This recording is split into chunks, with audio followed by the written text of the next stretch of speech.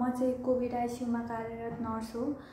मैले आज चाहिँ यो भिडियो बनाउनुको मुख्य उद्देश्य चाहिँ के हो भनेदेखि चाहिँ हाम्रो नेपालमा चाहिँ दस हजार छ सय बाह्रजना व्यक्तिले चाहिँ आफ्नो ज्यान गुमाइसक्नु भएको छ होइन।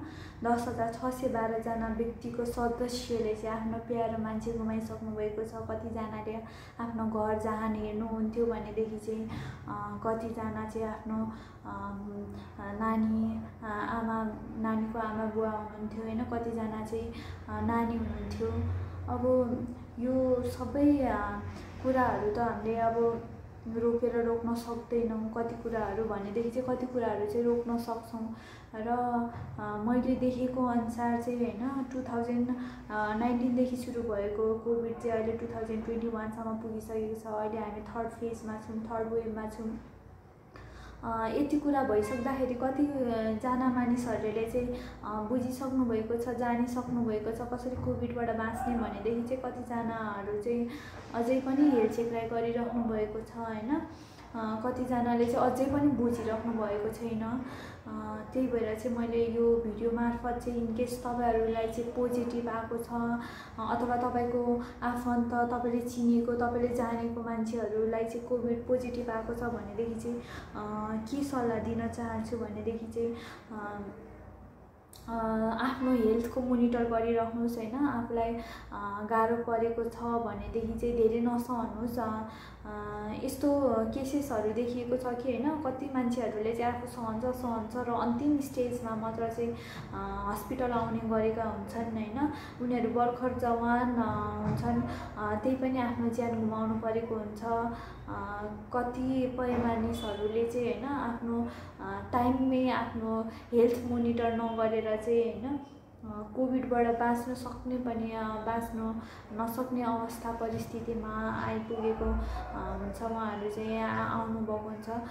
त्यही कारणले गर्दाखेरि चाहिँ जब आफू कोभिड पोजिटिभ भइरहेको अवस्था हुन्छ आइसोलेटको फेजमा हुनुहुन्छ तपाईँहरूको सिम्टम्सलाई एकदमै ध्यान दिनुहोस्।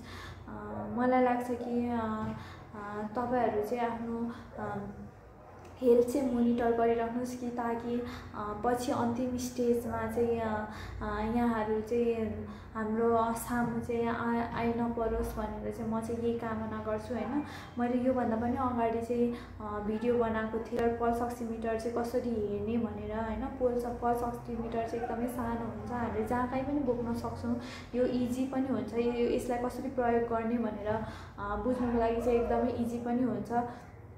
यो यसको प्राइस पनि धेरै महँगो पर्दैन तर यो किन्ने बेला चाहिँ विचार गर्नुपर्छ कि ओरिजिनल हो कि होइन भनेर किनभनेदेखि चाहिँ कतिवटामा चाहिँ अहिले कालो बजारी पनि भइरहेको छ र एकदमै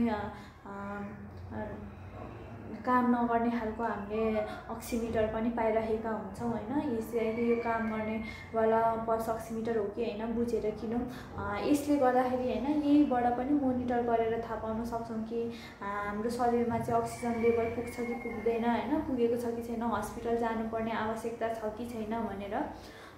किनभनेदेखि चाहिँ यस्तो कन्डिसनमा पेसेन्ट आइपुग्नुहुन्छ होइन? उहाँहरूलाई चाहिँ रिभर्स टु होइन ब्याक टु नर्मल गर्नु पनि असम्भव भएको हुन्छ होइन। उहाँहरू खुदलाई पनि यस्तो महसुस भइसकेको हुन्छ कि उहाँहरूलाई खुदलाई थाहा हुन्छ होइन। उहाँ भेन्टीमा हुँदाहुँदै अथवा हाम्रो मार्क्समै हुँदाखेरि पनि उहाँको अन्तिम स्टेजमा हुँदाखेरि नै उहाँहरूलाई चाहिँ अवगत हुन्छ कि उहाँको चाहिँ अन्तिम समय आयो भनेर होइन। कसैले पनि होइन कुनै पनि व्यक्तिले आफ्नो अन्तिम घडी चाहिँ चा नचाहँदा नचाहँदै थाहा पाउनु भनेको कुरा होइन कसैलाई पनि त्यस्तो त्यस्तो पलमा चाहिँ गुज्रिनु परोस् भन्ने चाहिँ कसैलाई पनि मनमा हुँदैन उनीहरूलाई थाहा हुँदाहुँदै कि आफ्नो घरमा होइन सानो सानो नानी बाबुहरू प्यारो मान्छेहरूले चाहिँ कुरिराख्नु भएको छ भनेर त्यही भएर आफ्नो मान्छेलाई नरुवाउनुहोस् होइन त्यही भन्न चाहन्छु म चाहिँ कसै हामी कसैले पनि त्यस्तो देख्न चाहँदैनौँ।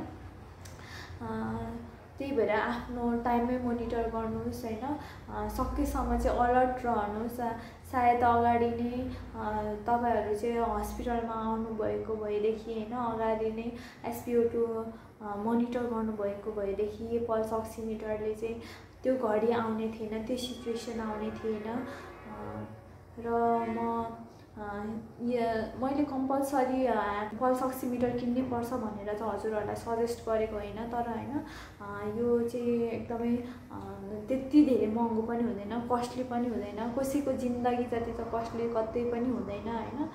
त्यही भएर चाहिँ मोनिटर गर्नुहोस् होइन कतिखेर आवश्यकता पर्छ हस्पिटल जानुपर्ने आवश्यकता हो कि होइन थाहा पाउनुहोस् आफ्नो केयर गर्नुहोस् त्यही भन्न चाहन्छु र अन्तिममा चाहिँ के भन्न चाहन्छु भनेदेखि जो कोहीले पनि होइन आफ्नो मान्छे गुमाउनु भएको छ कोभिडको कारणले उहाँहरूलाई चाहिँ म एकदमै स्ट्रङ भएर बस्नुहोस् भन्न चाहन्छु होइन?